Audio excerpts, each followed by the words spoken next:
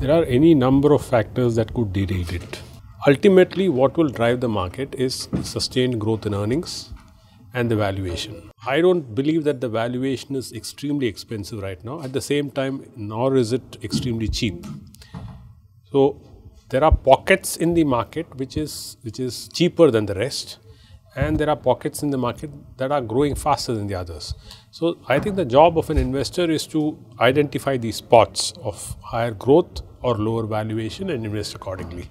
The market as a whole is just an average. So that, that's a job of uh, an investor.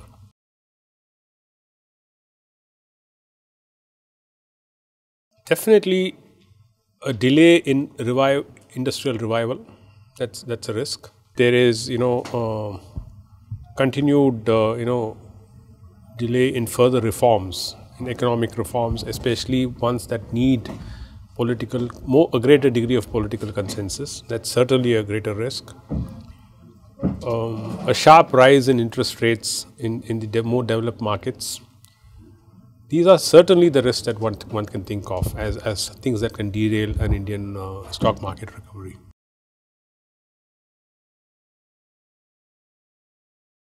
I'd rather look at it from a much longer term point. You know, it's one year prediction, really nobody can get it right. And if you do get it right, you're probably lucky. So it's it's uh, it's it's the stock market has grown at an average of about 16 to 16 and a half percent per annum over the last so many years. And it's not a coincidence that the earnings growth has also been somewhere between 16 and 16 to 17 percent during this period. So there is a strong long-term correlation between earnings growth and the stock market return, and this is this is true for any industry. This is true for any stock. So rather than focus on the next one year, I think the investor should focus on the next five. Right? That's a better way to look at it. If you believe that India's economy can grow at sustainably at between six and a half to seven percent, it's logical for us to expect that uh, you know nominal GDP will be somewhere about 12, 12 to 12 and a half percent. If the overall economy grows at 12 to 12 and a half percent, um, industry and services, which are definitely um, the stock market is correlated to these two sectors more than agriculture. Industry and services we can expect will grow at one percentage point more, about 13 and a half percent or so. If the thousands and thousands of entities, listed, unlisted, all of them put together are growing at 13.5%.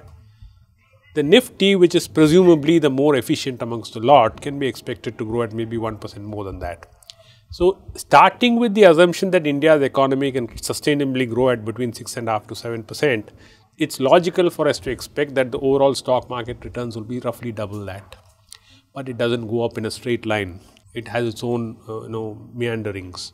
So let's let's not be keen to predict the movement over the next six months or next one year. I think a long term trend is far more important.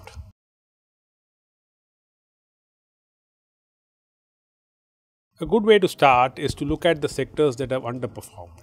The industrials have certainly underperformed in the last uh, few years, and therefore it's it's a good place to start looking.